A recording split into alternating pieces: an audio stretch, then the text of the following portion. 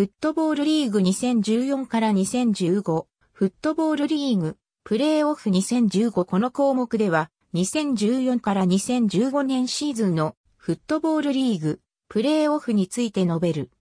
プレーオフでは、フットボールリーグに属する各カテゴリーの昇格チームの最後の1枠を決定する。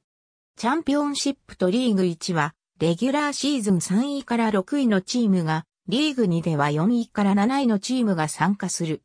また、準決勝は、ホームアウェイ形式で行われ、決勝は、ウェンブリースタジアムでの一発勝負で行われる。2015年5月7日に開幕し、2015年5月25日に閉幕した。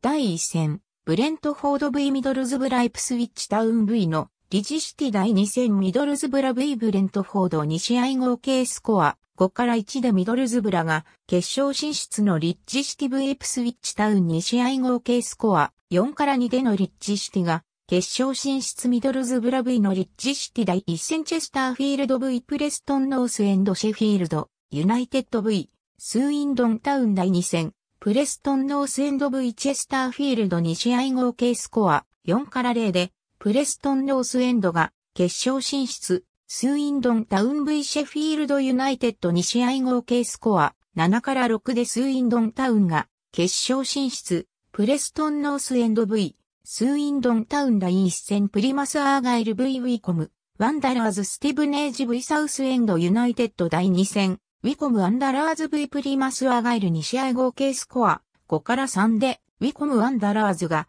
決勝進出サウスエンドユナイテッド V スティブネージ2試合合計スコア4から2でサウスエンドユナイテッドが決勝進出サウスエンドユナイテッド V ウィコムワンダラーズ。ありがとうございます。